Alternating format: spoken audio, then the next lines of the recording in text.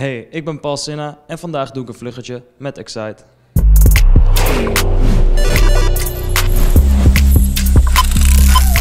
In drie woorden is Paul Sinna getalenteerd, knap en lief. Ik denk dat ik het liefst een weekje naar Rio de Janeiro zou willen. Mijn leukste bijnaam is Pauletti.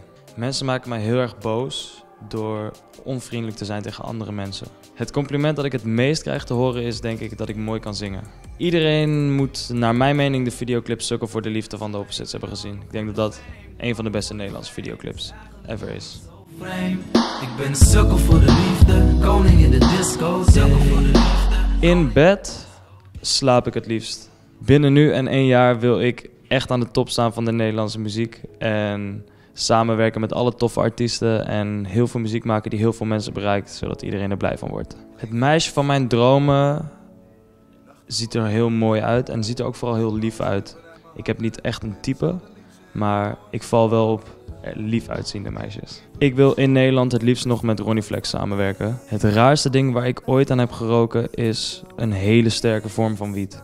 Mijn meest awkward seksmoment was dat de persoon met wie ik was uit het bed viel tijdens dat we bezig waren.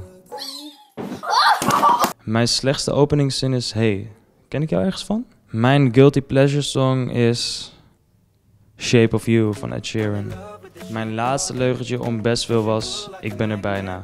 Als ik een onzichtbaarheidsmantel had, zou ik bij allemaal mensen naar binnen sneaken en kijken wat ze thuis aan het doen zijn. Met het meisje uit mijn dromen zou ik op vakantie gaan naar een warm eiland. Met een skippybal zou ik voornamelijk skippyballen, want ik kan me echt niks anders bedenken wat ik daarmee zou kunnen doen. Mijn favoriete dance move is deze. En dan de persoon aankijken tegen wie ik hem deed.